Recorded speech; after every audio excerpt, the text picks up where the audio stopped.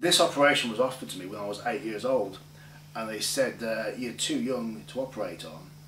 Um, to remove the bald patch, uh, you've got to wait another five years.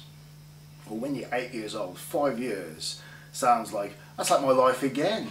you, you're joking? I, I've got to wait another five years. How am I, I can't even go to school next week. Yeah, how are you, am I going to do five years? I'm not going to live.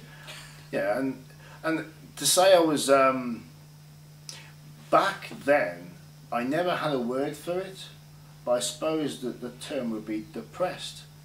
I was a very depressed child um, because every I, I never looked forward to going to school.